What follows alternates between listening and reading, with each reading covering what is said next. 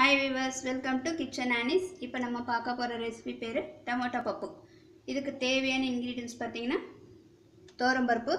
இது நான் வந்து குக்கரில் அஞ்சு விசில் கொடுத்து வேக வச்சு வச்சுருக்கிறேன் ஒரு அரை கப்பு பருப்பு அரை கப்பு பருப்பு போட்டு வேக வச்சு வச்சுருக்கிறேன் இதுக்கு ஒரு நாலு தக்காளி குட்டி குட்டியாக கட் பண்ணி வச்சுருக்கிறேன். அதுக்கப்புறம் இதுக்கு தேவையான அளவுக்கு மஞ்சள் பொடி மிளகாய் பொடி உப்பு பூண்டு கொஞ்சம் ஒரு நாலு பல்லு நான் வந்து பூண்டு இடித்து வச்சுருக்கிறேன். இதெல்லாம் தாளிக்கிறதுக்கு கடுகு சீரகம் மிளகாய் பெருங்காய பொடி பச்சை மிளகா.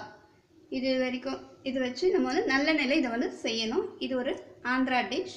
இப்போ நம்ம வந்து ஃபஸ்ட்டு க- ஒரு பேன் வச்சு நல்லெண்ணெயில் நம்ம இது செய்கிறோம் ஃபஸ்ட்டு இதுக்கு வந்து நம்ம வந்து நல்லெண்ணெய் ஊற்றிக்கலாம் இது இந்த பருப்புக்கு நம்ம வந்து தக்காளிலாம் போட போகிறது வெறும் தக்காளி தான் யூஸ் பண்ண போகிறோம் புளி எதுவும் யூஸ் பண்ண போகிறதில்ல ஆயில் விட்டுக்கலாம். ஆயில் நல்லா சூடாகட்டும்.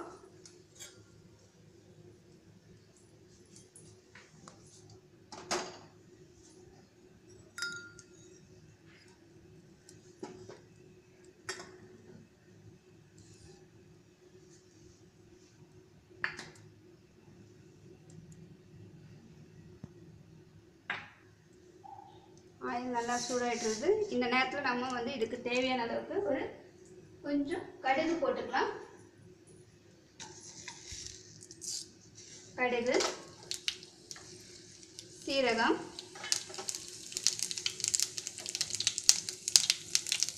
காஞ்ச மிளகா இது பச்சை மிளகா இதுக்கு வந்து காரம் பெருசாக இருக்காது. அதனால் நான் கொஞ்சம் நிறைய பச்சை மிளகா சேர்த்துருக்குறேன். நீங்கள் காஞ்ச மிளகா போடுறப்ப பார்த்துக்கோங்க. காரம் மிளகாவில் கொஞ்சம் ஜாஸ்தி போடுங்க. இல்லைன்னா கம்மியாக போட்டுக்கோங்க. ஏன்னா நம்ம இதில் காஞ்ச மிளகா பொறுக்கும் பச்சை மிளகா. அப்புறம் மிளகாத்தூள் கூட போட போகிறோம் இதுக்கு ஒரு பூண்டு. பூண்டு போட்டு இதை நல்லா வதக்கலாம்.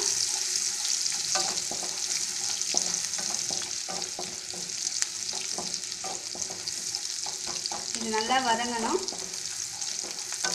இது நம்ம வந்து நல்லெண்ணெயில் செய்கிறோம் ஏன்னா அப்போ தான் டேஸ்ட் கொஞ்சம் நல்லாயிருக்கும். இது ரைஸ்க்கு ரொம்ப நல்லாயிருக்கும். சுட சுட ரைஸ்க்கு இதில் வந்து நெய் கலந்து சாப்பிட்டிங்கன்னா டேஸ்ட்டாக இருக்கும். ஓகே இந்த பூண்டு இது நல்லா வ- நல்லா வதங்கிடுச்சு. பச்சை மிளகா மாத்திரம் நீங்கள் பார்த்து போட்டுக்கோங்க. இது காரம் இல்லாததுனால நான் கொஞ்சம் நிறைய போட்டுக்கிறேன். காரம் இருக்கிறதா இருந்தால் கொஞ்சம் கம்மியாக போட்டுக்கோங்க. இந்த ஸ்டேஜில் நமக்கு ஒரு கால் டீஸ்பூன் பெருங்காயத்தூள் போட்டுக்கலாம். கூடவே இந்த கட் பண்ணி வச்சிருக்கிற தக்காளியும் நம்ம சேர்த்துக்கலாம்.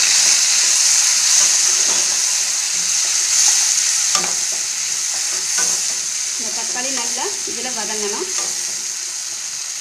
இந்த தக்காளி வதங்குற ஸ்டேஜில் நம்ம இதுக்கு ஒரு கால் டீஸ்பூன் மஞ்சள் பொடி இந்த பருப்புக்கு தேவையான அளவுக்கு உப்பு சேர்த்துக்கலாம். கொஞ்சமாக ரெட் சில்லி பவுடர் சேர்த்துக்கலாம். ஏன்னா நம்ம ஏற்கனவே பருப்புக்கு வந்து மிளகாய் ரெட் சில்லி க்ரீன் சில்லி எல்லாம் சேர்த்துருக்கிறதுனால மிளகாய் பொடி கொஞ்சம் கம்மியாகவே சேர்த்துக்கோங்க. இல்லை உங்களுக்கு காரம் அதிகமாக வேணும்னு நீங்கள் கொஞ்சம் காரம் அதிகமாகவும் சேர்த்துக்கலாம். இது இப்படி நல்லா வதக்கி இதை கொஞ்ச நேரம் லிட் போட்டு மூடி வைக்கலாம். இதை அப்படியே ஆயிலே வெந்துடும்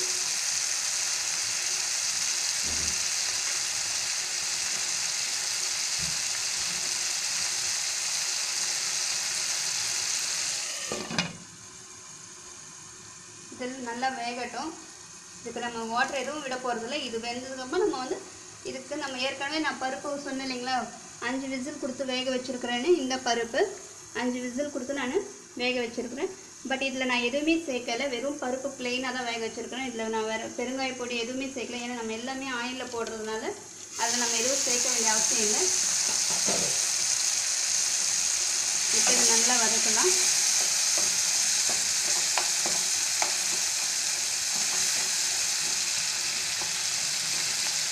இது நல்லா வதக்கி விடுங்க.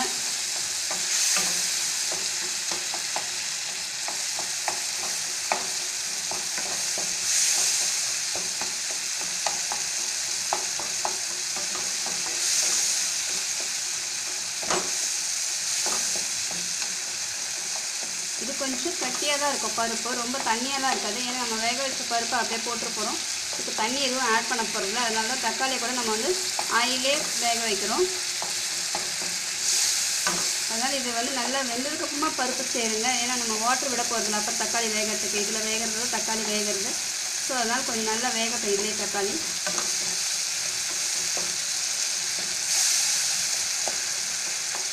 ஆல்மோஸ்ட் வெந்துடுச்சு. தக்காளி இல்லை. பாருங்க நல்லா பேஸ்ட் ஐட்டம் ஆயிடுச்சு இந்த ஸ்டேஜில் நம்ம பருப்பை ஆட் பண்ணலாம்.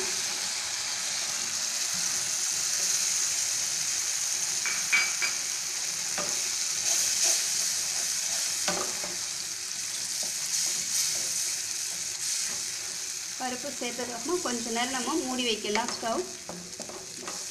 ஸ்டவ் கொஞ்சம் சிம்மில் போட்டு மூடி வைக்கலாம்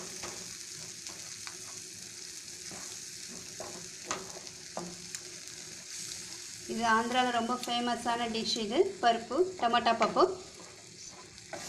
இது நல்லா ஒயிட் ரைஸ்க்கு நெய் விட்டு சாப்பிட்டிங்கன்னா டேஸ்ட்டாக இருக்கும். இது கொஞ்சம் நல்லா மூடி வச்சு கொஞ்சம் நேரம் சிம்மில் போட்டு வைக்கலாம்.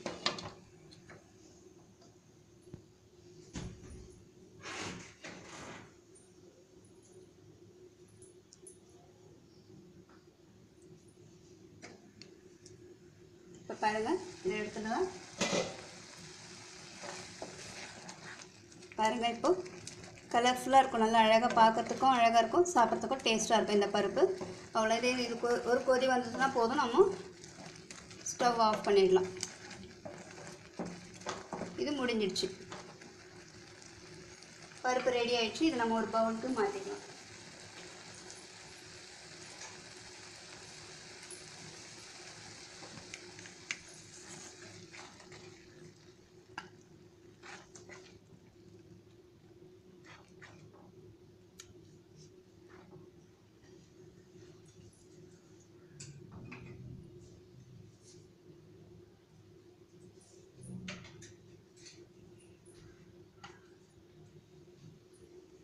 இப்போ பாருங்கள் இதுக்கு நம்ம மேலே வந்து கார்னிஷ் பண்ணுறதுக்கு நான் வந்து இந்த குட்டி வெங்காயத்தை சாம்பார் வெங்காயத்தை ஃப்ரை பண்ணி வச்சுருக்கிறேன். அதையும் கருவேப்பிலையும் ஃப்ரை பண்ணி வச்சுருக்கிறேன்.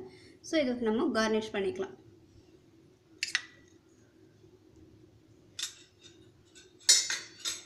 டேஸ்டான டொமேட்டோ பாப்பு ரெடி ஆயிடுச்சு. இதை நீங்கள் ட்ரை பண்ணி பாருங்கள் இந்த வீடியோ உங்களுக்கு பிடிச்சிருந்ததுன்னா கிச்சன் ஆனிஸ்க்கு சப்ஸ்கிரைப் பண்ணுங்கள் ஷேர் பண்ணுங்கள் லைக் பண்ணுங்கள் தேங்க்யூ ஃபார் வாட்சிங்